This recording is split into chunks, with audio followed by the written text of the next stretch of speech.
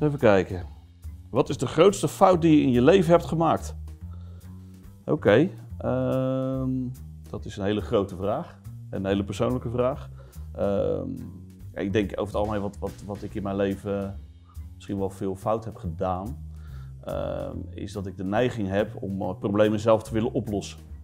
En eh, pas als ik dan de oplossing helemaal heb uitgewerkt, dat ik dan eh, nou ja, ermee naar buiten treed. Ja, en dat, eh, dat werkt niet altijd goed. Dus ik, ja, ik heb hier niet meteen eh, een persoonlijk voorbeeld bij, maar ik denk dat dat iets is wat mensen misschien ook herkennen. Hè, dat, je, dat je te laat mensen betrekt bij de, bij de ideeën die je hebt. En dat je dan wel eens op je bek kan gaan. Lekker luchtige vragen. Hè? Als je niet jezelf mag kiezen, wie zou je dan willen zijn? Ik denk een van mijn twee kinderen, denk ik. En dan ook wel met de onbevangenheid eh, die, die ze, ze, hebben. Omdat dat gewoon, eh, ja, ik herinner me dat zelf als een hele mooie tijd. Dat je een jaar of zeven, negen jaar bent. En, eh, en er is nog eigenlijk het soort toekomstloze, zeg maar. Het echt in het moment leven. Als geld geen rol speelde, waar zou je dan een schrijversretraite willen houden? Nou, in ieder geval ergens waar, het, waar ik gewoon, ergens aan de kust. En ik woon ook aan de kust en dat vind ik gewoon heel prettig. Daar zoek ik mijn vakanties ook op uit. Ik, ik ben graag in de buurt van de zee. Dus dat zou dan een heel mooi groot eh, huis zijn aan de zee waar je echt je eigen terrein hebt en eh, waar de kinderen gewoon vrij kunnen spelen. En misschien ook nog wel dat de mensen in, de omgeving zijn, dat je dan wel een beetje mensen kan opzoeken. Eh, ik, ik zou niet een, een retret van, van drie weken willen waar niemand tegenkom. Dat, dat zou voor mij niks zijn. Waarom wil je dat mensen jouw boek lezen? Het gaat uiteindelijk over een voetballer, een oud international. Die voetbalde in de jaren 80, 90. Wat, wat ik zelf de mooiste tijd vind in, de, eh, in het voetbal. De, meest romantische voetbaljaren. Dus ik denk dat heel veel mensen die zijn opgegroeid in die tijd. Of die eh, nou al wat ouder waren in die tijd en het voetbal volgden. Ja, dat het een feest van herkenning zal zijn. De beelden die ik denk oproep in het boek. Verder denk ik ook dat, dat deze hoofdpersoon een heel groot verhaal heeft. Met, eh, met een paar hele grote thema's. En heel verrassende, nou, gewoon hele verrassende invalshoeken, denk ik. Ehm, mensen die hem kennen, die zullen dingen leren waar ze, die ze nooit achter hem eh, gezocht zouden hebben. Dus ik denk dat dat gewoon een heel interessant verhaal is. Echt over een, over een mens met al zijn tekortkomingen. eh, met al zijn successen, met eh, eh, behoorlijke pieken, maar ook flinke, flinke dalen.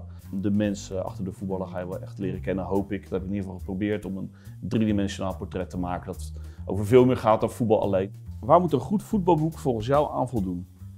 Nou ik denk dat het dus niet alleen over voetbal gaat, dat het over veel meer gaat dan- alleen eh, voetbal. Nou ja, dat, dat, je, dat je dingen vertelt die mensen nog niet weten. Hè, of die heel diep zijn weggezonken, die mensen al lang vergeten zijn.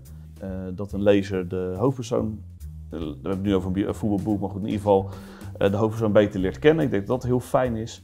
Ehm, en dat je het gevoel hebt dat je bent, toch weer bent meegezogen in een bepaalde tijd.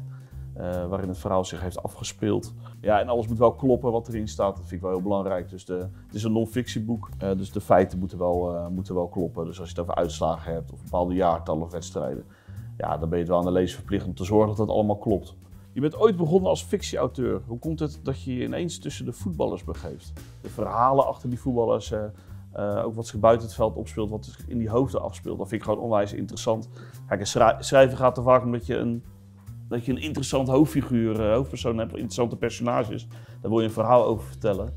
Dat kan fictie zijn, dat doe ik ook nog steeds. En, en, en er komt ook wel eens iets op je pad wat, eh, wat je gewoon, eh, een echt mens, nou, die gewoon fascineert. En waarvan je denkt, nou, er zit een verhaal in wat ik graag wil vertellen.